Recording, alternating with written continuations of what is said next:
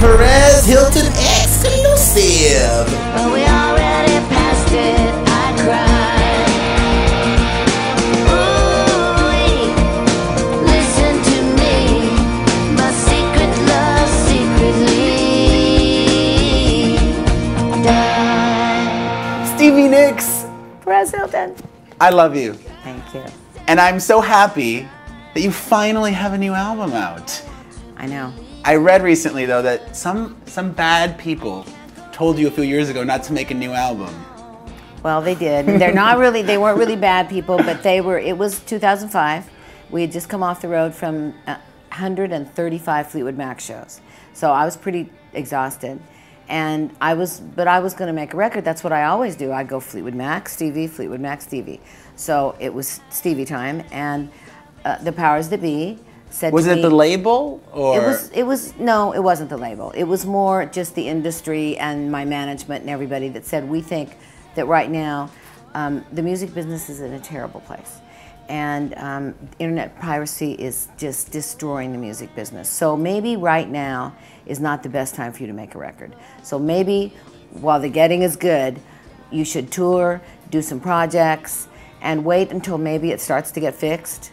So, um, had I not been exhausted from 135 shows, I might have said, well, no. But I, I just kind of went, okay. And so, 2005, 2006, 2007, I did Crystal Visions. I did um, You did another PBS Fleetwood Mac tour as well? Right. I did a, a big Fleetwood Mac 83 shows tour. And when I got done with that, um, I said, I'm ready to make a record. And I, and I don't care if anybody buys it. I'm just gonna, it's for, I'm making it for me.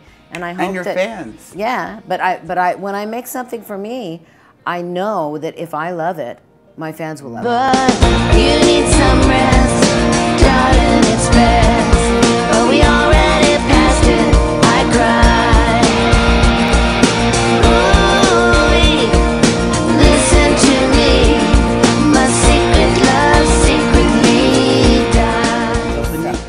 album, Dave Stewart from formerly of the Eurythmics, did Right. most of it with you. Right. Had you and him been friends for a long time?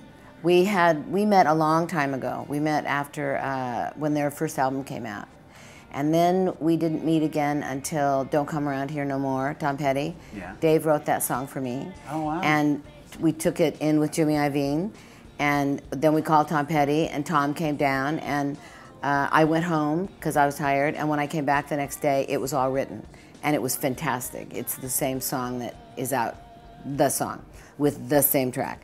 And I, you know, being a huge Tom Petty fan, I sat and I listened to it, and I'm going like, so what? I'm going to rewrite this song and write better words than Tom Petty did. So I was very pissed off, but at the same time, very much enamored with the song that had been written. So I said, Tom, it's your song, and uh, Dave, I'm sorry, and Jimmy, you're fired. Were you dating him And- at the time? No, we had broken up. oh, so, you can but we say you're still- fired. Right, but we were still, you know, we were still friends. But I was pretty angry about it. But at the same time, I knew what a great song it was, and I knew that this was going to be. I knew for my friend Tom that I adored that this was going to be like the second coming of Tom Petty. And it worked a little differently on this album because you wrote some songs with him too. So what happened was, it was January. We just come home in December. Um, I called Dave and said, "Would you? Are you interested in working with me?" He said, "Yes." And I have a song that kind of like "Don't Come Around Here No More." It has a chorus. It has four lines, and I'd like you to write the verses. So I said, "Well, send it to me." And I, in turn, sent him a, a binder with 40 poems. And then we, he said he pulled a poem out of the binder and said, "I love this poem." So let's work on this.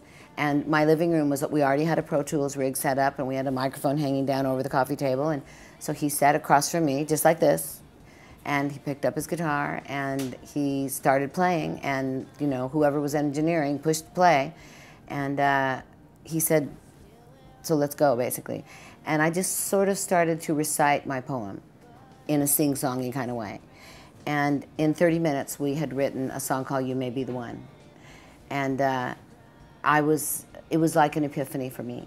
I the golden doors opened, and I thought, okay, now I understand why Paul McCartney and John Lennon wrote songs together because yes, they can write amazing songs by themselves, but together, sometimes they say that what's that saying? This the sum total uh, Yes. is better than the single parts, something like that. Um, and I realized that you know Dave, with his amazing un- understanding of music and thousands of chords, and me with my thousands of poems, that you know, as Dave will say, if she never writes another word, we have enough poetry to make 30 more albums because I write poetry all the time. Stand back, stand back.